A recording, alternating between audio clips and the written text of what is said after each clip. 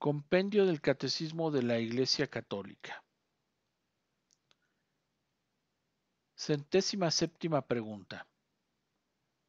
¿Quién es invitado a formar parte del reino de Dios anunciado y realizado por Jesús? Jesús invita a todos los hombres a entrar en el reino de Dios. Aún el peor de los pecadores es llamado a convertirse y aceptar la infinita misericordia del Padre. El reino pertenece ya aquí en la tierra a quienes lo acogen con corazón humilde. A ellos les son revelados los misterios del reino de Dios.